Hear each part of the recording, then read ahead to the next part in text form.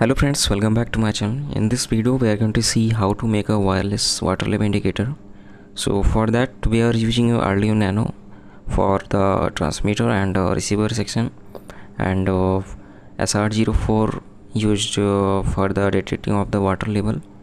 You can also use the waterproof version and uh, for the data transmission I am using a 433 megahertz RF transmitter and uh, receiver modules so these are very good in term of uh, range up to 100 or 200 meters of range.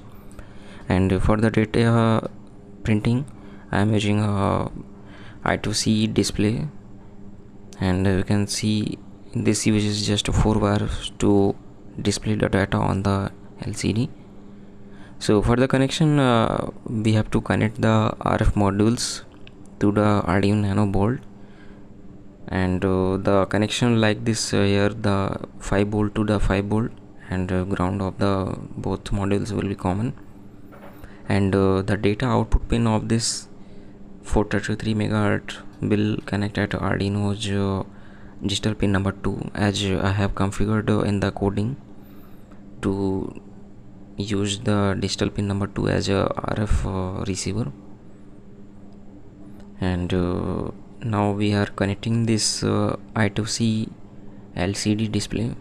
So for the wiring we connect the ground and uh, 5 volt supply to the respective pins of the Arduino Nano.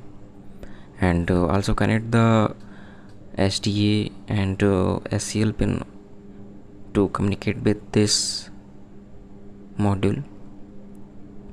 Now this one is the ground pin which will connect at uh, Arduino Nano ground pin. And uh, after this here uh, the black one which is the 5 volt power supply for the LCD which will connect at uh, 5 volt pin of the Arduino Nano. And after this here we connect the SDA pin to the analog pin number 4 of the Arduino Nano. And uh, the SCL pin will connect at uh, pin number uh, analog 5 of the Arduino now the receiver is completed. In this case we have to just power the receiver section with the USB cable. And after this we have to make the transmitter side. So in this case here I'm using 4, 433 megahertz transmitter module.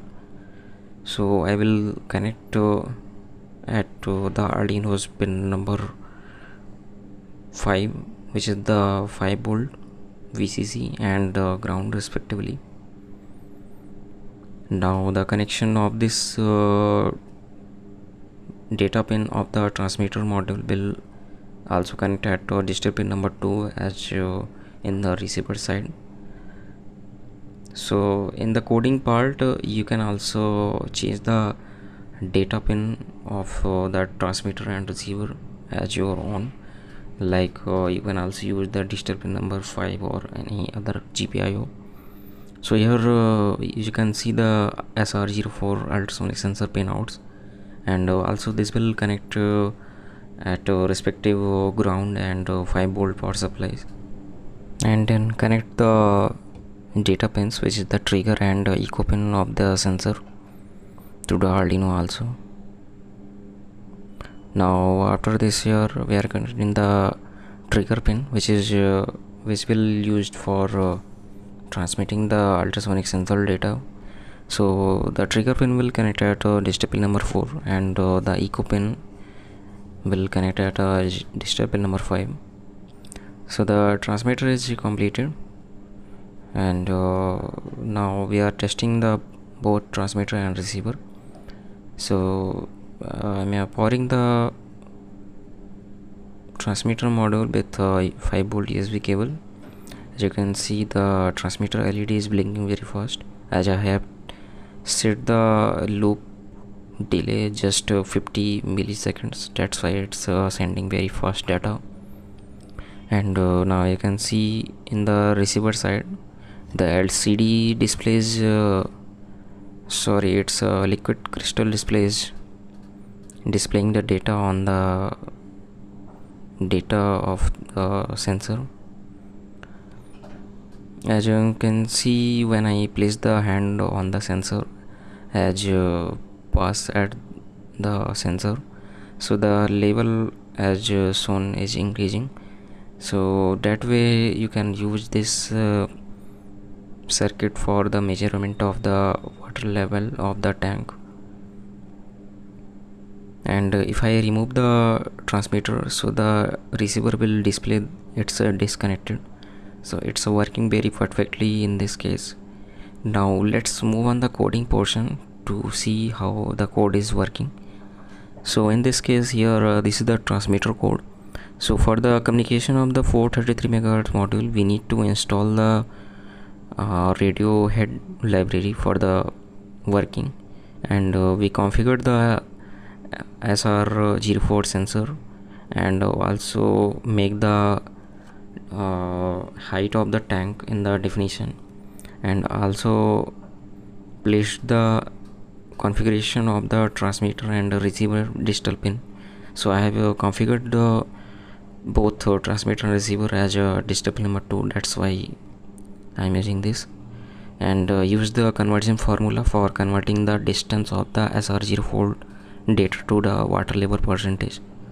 So as same in the receiver code we have used a radio head library for the 433 megahertz module. And also included the liquid crystal I2C display for the display. And uh, used wired artist library for communication between the Arduino and uh, I2C display so this way the data will receive and store in the water level percentage integer and uh, print according to the received data from the transmitter. So that way the whole transmitter and receiver code is working.